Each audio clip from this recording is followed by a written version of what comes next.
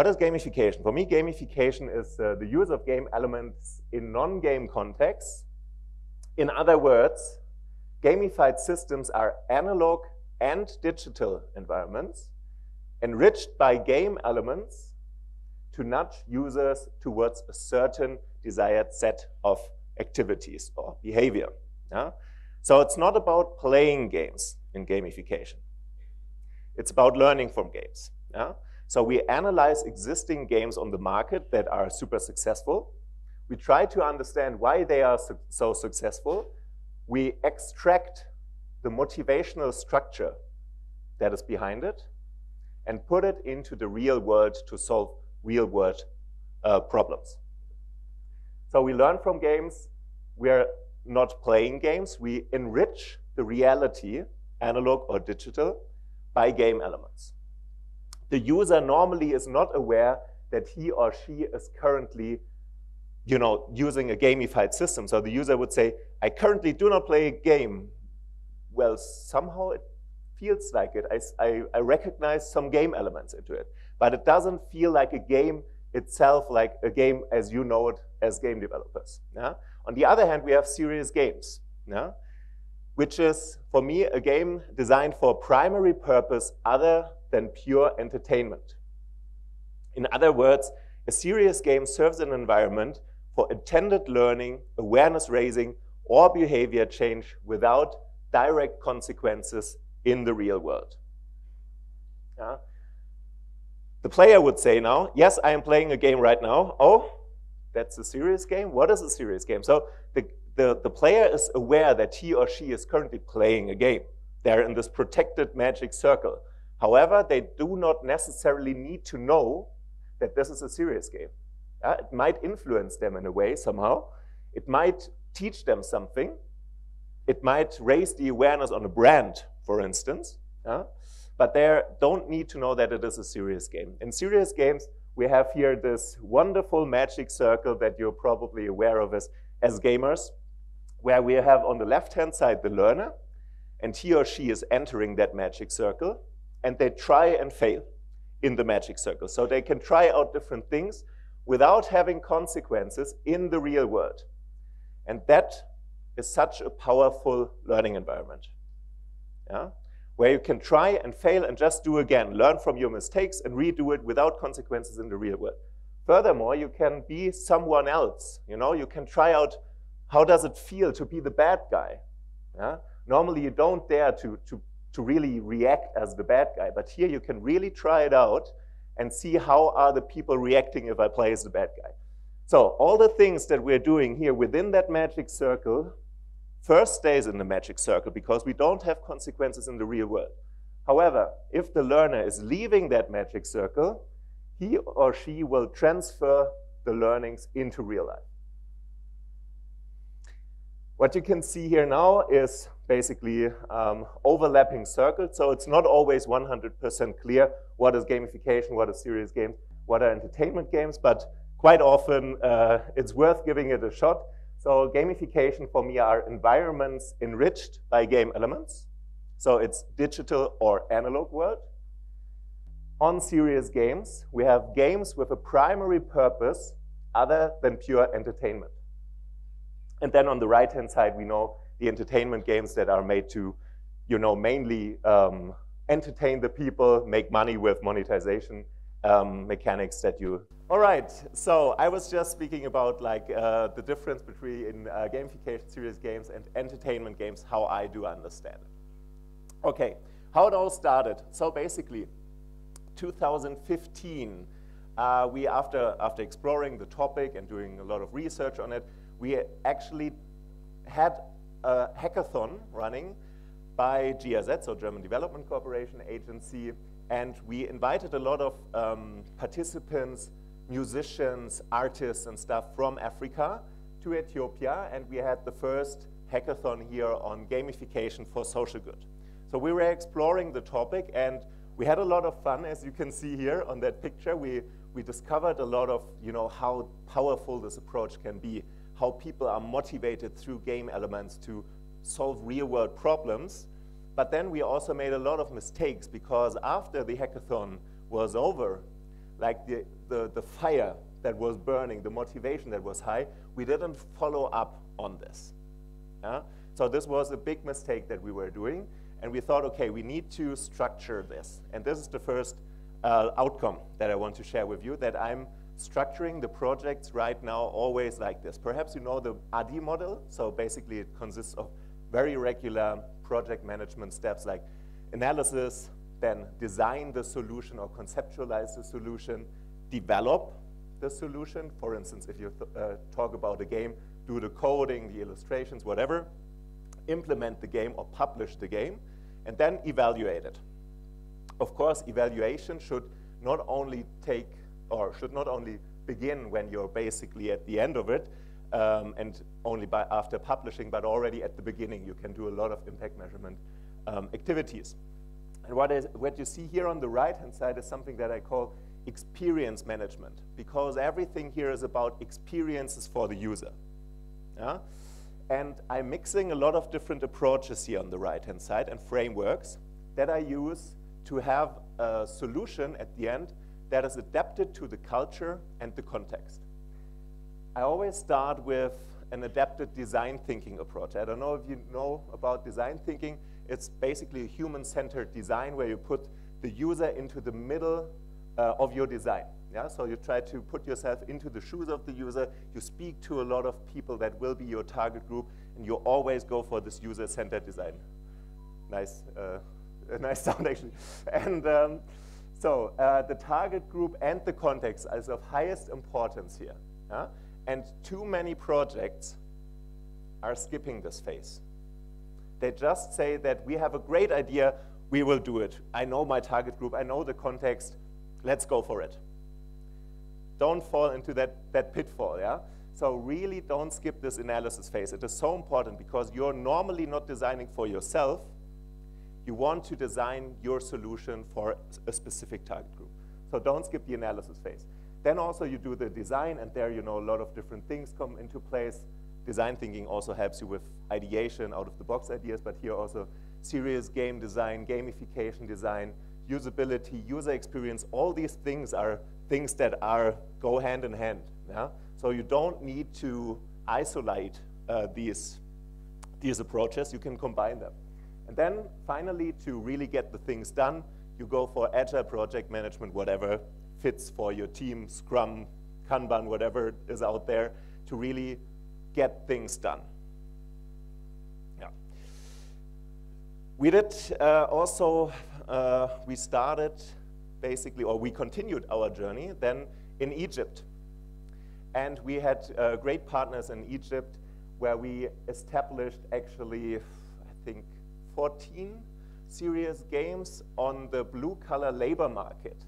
So basically, we had a huge problem that there was a gap between the employees and the employers. Yeah? And we wanted to build the trust of it. So we wanted to improve the quality of the employees, or basically what you can see here is a, is a hyper-casual game on job preparation. So when you go for the first time job interview, what do you do? You know, um, are you on time? Are you, you know, dressed accordingly and stuff? So basically, we, we, we taught, uh, we, we had a, a, PDF document of consisting of 80 pages that was a job preparation manual. And this job preparation manual was so boring that never, no one ever read, you know?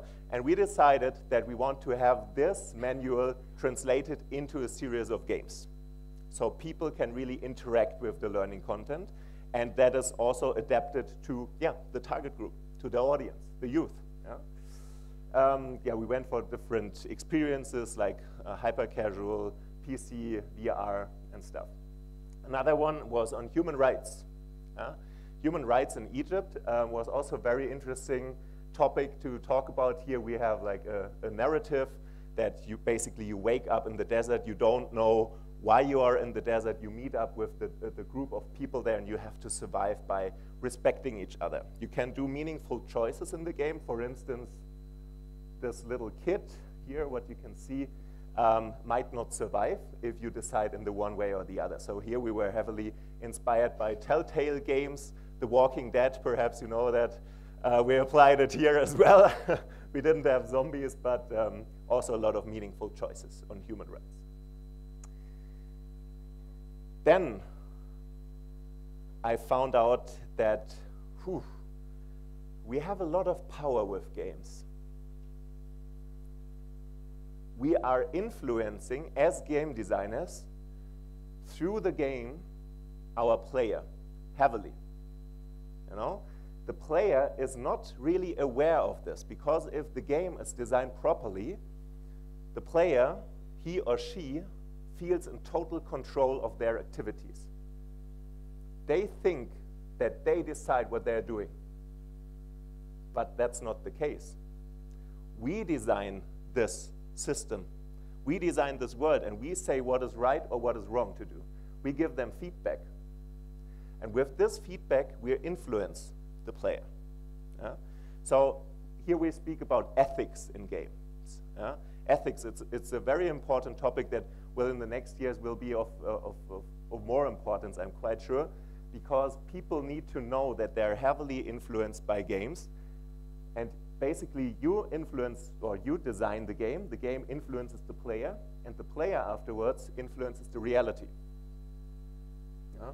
So through the game, you can have a huge audience of players that are then afterwards, you know, transferring the learnings from the games, but also the behaviors, and transfer it from the games into the real world. Ha we have to be aware of this. Okay, another example that I want to show you is uh, that we were doing a serious game on tourism for sustainable development in Africa. And this was the first uh, cross-African serious game that was developed. So here, uh, yeah, in cooperation with GIZ, so German Development Corporation, then four different game studios from Africa, and here my company from Germany. So we created um, this, this game called Mama Atingi Shop, and basically it puts you in the shoes of a, of a, um, yeah, of a shop owner, and you are trying to sell your goods. And through a very playful approach, you learn about stuff like, yeah, basic economics, yeah, seasonality, yeah, and when like different types of customers that require different things of items and assets that you need to have. Yeah? So in a very playful way and very addictive uh, way of, of, of playing, people are aware what they should do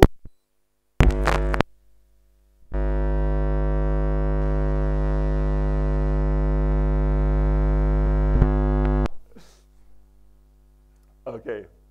I think I can continue. So the thing is that um, you, you put the user into the shoes of a shop owner, and of course we were also targeting the shop owners themselves. Yeah? So they can try out to, to behave in the right way, and also price building, for instance, yeah, is a topic they, don't, they did intuitively, but there's a structured way to do price building. Yeah? And we, we linked it to a learning course, to a learning platform, so uh, if they want to learn more about prize building, they're kicked out of that serious game to a learning platform to earn a mini certificate over there, like taking a course on prize building that takes around one hour. And when they complete it, they can go back to the game with unique items they earn in the learning course. Another one we just published uh, a couple of weeks ago or a month ago um, is a serious game on good governance or in cooperation with the African Union. So what we did here is the African Union wanted to promote their instruments, also to show the importance of the African Union to the African inhabitants. Yeah? So like people that are living in Africa, why should there be something like the African Union? 98% of people don't know why it is of, it, it, is, it is of importance. And we tried to change this with that uh, serious game here. Yeah? So we used a storytelling approach. While I was designing that game, I was heavily influenced by Hades, the game. I don't know if you know it. Yeah. So basically, it follows the same approach here, but um, is basically making use of the different, not the power ups from Hades that uh, that Hades or like the people in Hades give you, but here from the African Union. Uh, so you have the different tools of the African Union, and you need to use them in, over, uh, in order to overcome challenges in this fictitious um, continent called Anaka. What did we learn from this? I also want to share something with you. I'm not sure if it's big enough. I will guide you through it, and you will probably, um, it will remind you of a lot of different uh, frameworks probably. For instance, the flow theory is embedded in this one here as well. You can see here is on the bottom the playtime that the user is going through, and here the player skill level or the competency that the, the player has. Yeah? And we have like five different steps that we need to think about as a designer. So don't fall into the pitfall of just designing one single game. You need to be aware that the player will evolve in your system, will become better. Yeah? And you need to react accordingly. So what we have here is you need to uh, design the first-time player experience, user experience. I think you as game developers, you know that. Yeah? So that's an important thing. You will have a lot of dropouts if this one is not perfectly designed. Then you need to give them an early game orientation. Yeah? What is really like, what are the mechanics of the game? How does it work? What is the overview? I don't want to feel overtaxed with too many things on the HUD, for instance. Yeah? Then we have the mid-game repetition. So most of the games, successful games they have in the mid-game, you do quite a lot of things in repetition the core game loop that you're doing over and over again. Yeah? So also this one needs to be designed properly. Then you have the late game maturity, so when the user is aware of all the mechanics that are in the game, perhaps already went through the entire story, now is aware of all the functionalities that are there, the skills and stuff, um, he has basically, he mastered, or she mastered the game. And then afterwards, there's this phase that is oftenly skipped, too often skipped is the post-game creativity, I call it. Yeah, so once the entire game um, is, is played through, for instance, the story, you can think about opening up a space to unleash the creativity of the player. Yeah? Think about games like um, Minecraft or Valheim. Yeah? Those are perfect examples where people can unleash their creativity even though the entire story is already done and they experienced everything, they have their level 10 swords or whatever it might be, um, give them a space, give them a sandbox where they can play with.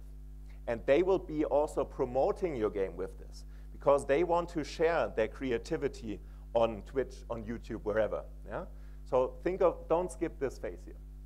What I also do is, at the beginning, I focus on extrinsic motivators. Yeah? Extrinsic motivators like the classics are points, badges, leaderboards. Yeah, so why they're not they're not a bad thing to do, but you have to be careful with them because at the beginning it is super motivating for the players, and they understand how your system works because it gives them direct feedback.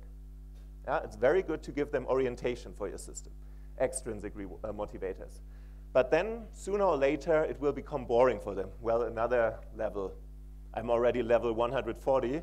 I don't really care if I'm level 141. Yeah. So here I need to focus more on intrinsic motivators. Not purely, but step by step, hand in hand, I go from extrinsic motivators into intrinsic motivators. So where I unleash the creativity of the player. Okay, another project example that I want to show you is now a gamified e-learning that we did, or a gamified learning course for energy efficiency course, uh, uh, on energy efficiency in Vietnam. And what you can see already is that it doesn't really matter which topic you want to tackle. No matter if it's energy efficiency, good governance, you know, sustainable tourism, human rights, you can always use a game in order to enrich the player experience. So this was basically, uh, we, we were talking here about very dry topics, yeah? You can see here, for instance, motors, drives and pumps, lighting, ventilation, air conditioning, and so on and so forth. So also very mathematical um, calculations that the players had to do here.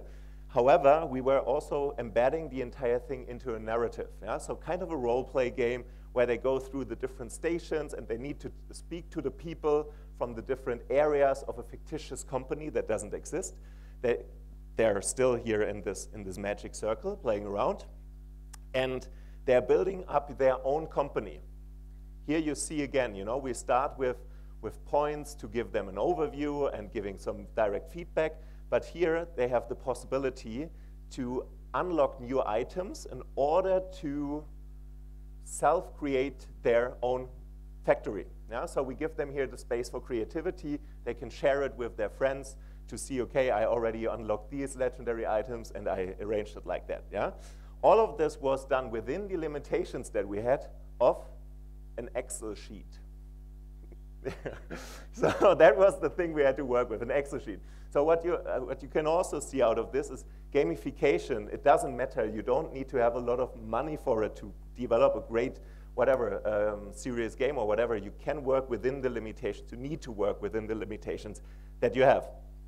And basically, this is the next learning I want to tell you. So my job is basically finding the sweet spot here in the center. So once a donor organization or any uh, company from private sector approaches me, they tell me their targets. They tell me, we want to train 10,000 people on this or that topic. We want to raise the awareness on this or that topic. Yeah? So the targets of the donor achieved. So this is about the game concept. How can you translate the targets into the game design yeah, that you're doing? Then you have to check on the feasibility, working within the limitations. Is it doable in terms of time, budget, you know, and the resources that you're having? You always, you can have a great design, but it might not just be doable within the time frame of half a year or two years or whatever. Um, depends on, of course, the limitations you're working in. So you have to take care of this, but also the technical feasibility. You need to speak with the coders, with the illustrators, is this doable within the given time frame? And you need to cut. You need to cut a lot in the feasibility. Yeah? Then desirability, also too often missed in these projects. Quite often we have the uh, effectiveness check, so are the targets achieved? Is it feasible? Yes, I can do it within two years or one year or half a year. But is it really desired by the user? Probably the people skip the analysis phase. Yeah? So is it really made for the user? Another uh, yeah, example I want to show you is gamification in Afghanistan. So one of the uh, toughest projects I was, I was working in in the last years. Um, so we created also a gamified uh, learning experience here um, for Afghan NGOs that are working on reforestation in Afghanistan, so regreening Afghanistan. And we used a gamified e-learning course that is uh, mainly focused on narrative, yeah? because we also did a lot of research, of course, on the culture. We spoke to a lot of people um, from our target group, from the NGOs. We had a lot of Afghan people in our team. And storytelling, narrative works all over the world, but especially in Afghanistan. This is the way like how they're uh, teaching people and delivering messages. Yeah? And Afghanistan is also such a complex um, yeah, country to work in because we have over 150 ethnic groups in one country. Yeah? So it's not the Afghans. You cannot say that. Yeah? So it's a, a huge mix of, of, of different yeah, subcultures. Yeah? So you have to be aware of this and be super sensitive about um, the, the concept. And this is the next learning I want to show you. How do we design games for such sensitive and complex contexts? So first of all, you are zooming out. You know, we have the human psychological core drives that are quite similar um, to all of us. Yeah? So we have, for instance, the Octalysis framework in gamification from Yu-Kai Chou, who is speaking about the core drives, but we also have the self-determination theory by Deci and Ryan, speaking about the human basic needs, you know, and the, the drives basically on autonomy, yeah?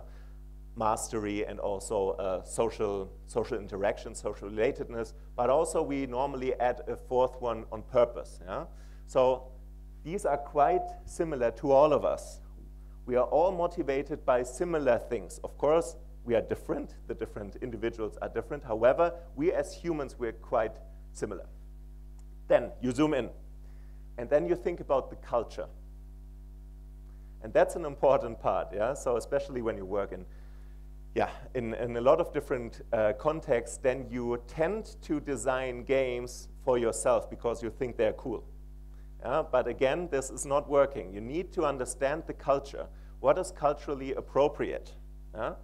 So the culture plays an important role, not only on a regional um, way or like uh, context or country context, but also if you work for the private sector within companies. Yeah? If you should, for instance, design an onboarding game for companies and uh, you as game developers, this is a huge potential for you also to work in this sector, I can tell you. Yeah? So uh, don't only think of entertainment games for your future career. Also think about, you know, using games for other things, serious games. For instance, in the private sector, I was just talking about onboarding, yeah, onboarding process. It can spare the company a lot of time and money to have one game that is working for, I don't know, their 200,000 employees. Yeah? But then you need not only to think about the culture of the, the target country, but also, of course, the culture of the company itself. Yeah? So that's also that's something to take into consideration. Then the target group, so zooming in further, the target group within the culture. It's of course a huge difference if you want to create, design a game for children or for CEOs or for males, females, of course. Um, it's getting closer, you know, uh, males and females. However, there's still sometimes a um, differentiation that you can see. So within the target group, the culture within the, the target group within the culture is still an important thing. And then also the use case. This is also often skipped. So how does the situation look like where the target audience is interacting with your system, with your game? Yeah? Think about this. Are they playing the game in the bus? Perhaps in school, are they forced to play the serious game as part of the onboarding process? Or should they play the game in their free time? Yeah? So really think about like how and when are people interacting with the system. In rural areas, do they have access to internet? The game needs to be playable offline in a lot of um, regions in the world. So, uh, okay, so all these things you need to take into consideration. And then um, the, yeah, well, another example here is serious games in Yemen. So Yemen is uh, supposed to be or called the the biggest human catastrophe in the world. Yeah? So we have a lot of problems over there. And um, basically, we were not allowed to travel to Yemen to reach out to the people, to our target audience, because it's just too dangerous to, to travel there. Yeah? So we thought about, okay, how can we approach the people and our target group? And 70% of the population in Yemen is less than 30 years old. Yeah? So we have a huge target group that is used to play games, and we make, should make use of this. Yeah? So that's why we decided to, to create uh, eight serious games on, with different approaches and um, for different target groups on non-violent conflict transformation or peace support. Um, uh, Philipp, sorry. Uh, so I'm just. This is just a timer thing. Ah. So we have uh, two minutes. Okay, I'll quickly go through it. Then we can go through the question sure, sure, sure, Okay, so basically we created a lot of games together with them. They uh, established their own game design studio out of this as a consequence of this project. As mentioned, a lot of different uh, serious games with different game approaches that you can see here. We use different types of impact measurement, so hard numbers like the downloads, but you can also measure a lot of things in the game itself. So how do the user react to things in the game itself? You can also think about pre and post questionnaires. Did they change their attitude after playing the game? Yeah? So how are they behaving in the game and what does this say about the target audience? And the last one here is serious games on civic participation. This is something that we are doing with um, the Friedrich Ebert Stiftung, FES. So we want to speak about good governance and civic participation in 12 Arab countries. We're working together here with a company from um, uh, Lebanon and Jordan. Great guys. And um, this is basically the approach. There's a trailer of two minutes, but I think we cannot show it anymore. Time for Q&A. Okay. So what do you think, trailer or more questions? trailer. Okay, let's go for the trailer then. Okay. This is how one of the games is, will look like. Year 2121. Climate disasters. armed conflicts and unethical technological and scientific progress have turned many parts of the Earth into desert and wasteland.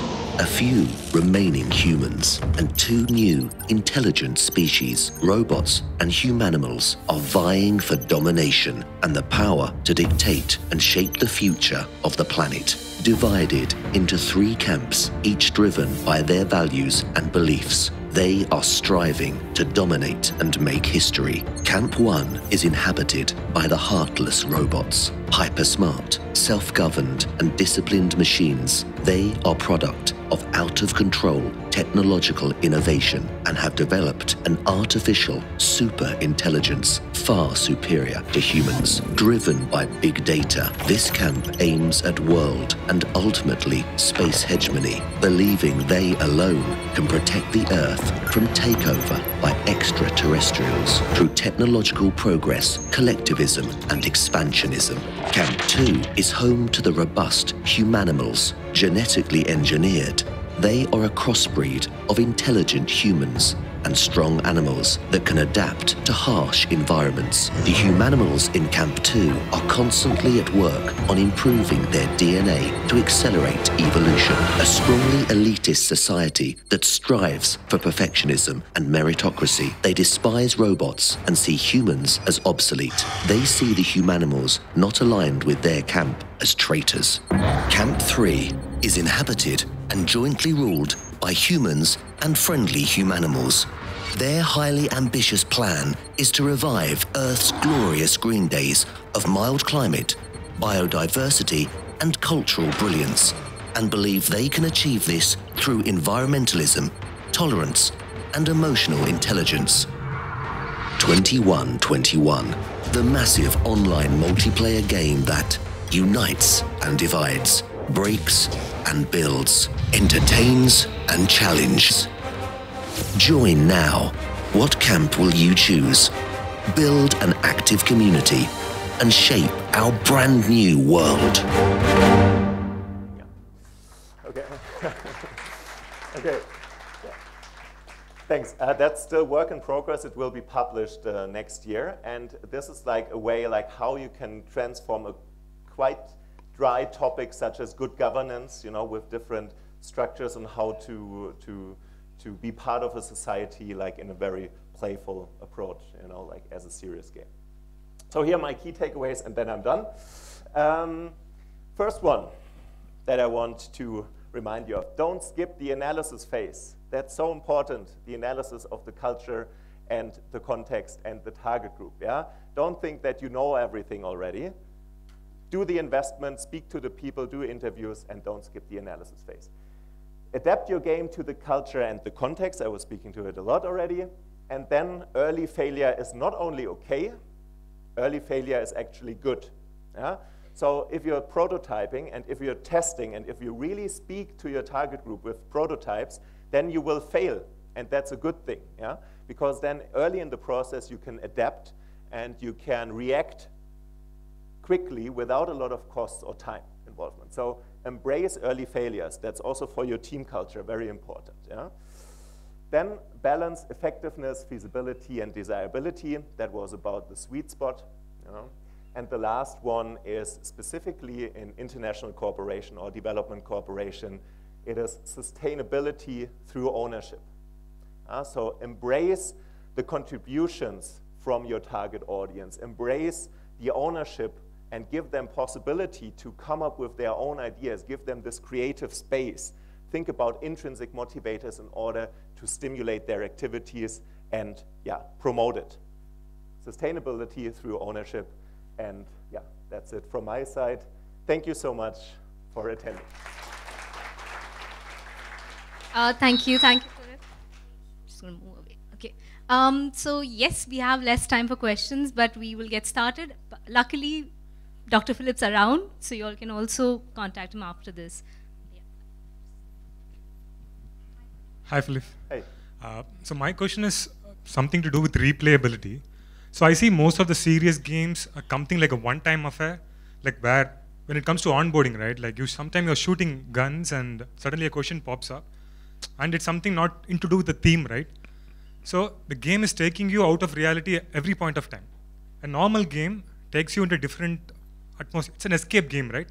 But whereas the serious games are taking us back to reality, back and forth, and I don't see much of the serious game as a replayable thing. And when you mentioned that replayability is a core thing, I want you to see how much of serious games are into replayability. Yes. you can handle on that. be Very good question. Thank you so much. Um, serious game design is one of the hardest things to do, actually, because you need to combine the learning messages that are quite often dry and boring, quite often, not always, with a fun experience. So you're not only designing a fun experience, but you need to integrate the learning messages into the experience itself.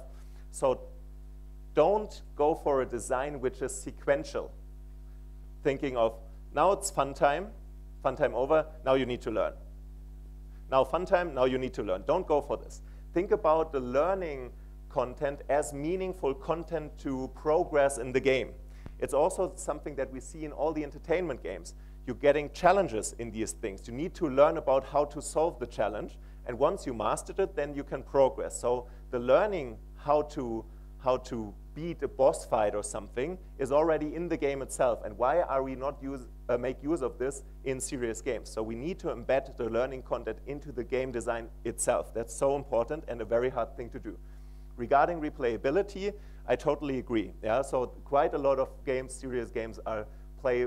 You can play through them once, which is also for some games quite okay. Yeah, if you say, yeah, perhaps it raised the awareness on on the problems of migrants for me. I didn't know about this. Yeah, so for me, raising the awareness, I was reflecting on it, and serious games and behavior change. Serious games can only be like one step towards behavior change, but it needs to be a mosaic of different activities that you're doing to really achieve behavior change. Yeah? Um, so a serious game can help you to raise the awareness, you know, to kick the player um, out of his or her reality, to jump into the shoes of another one, to self-reflect on it, and it can also give them some assistance to, you know, to, to, further learning. yeah?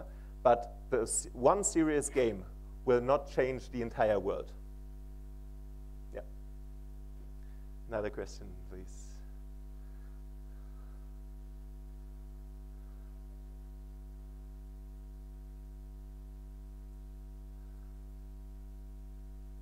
You can just try and say it out. Sure. Uh, one of them is uh, a few of the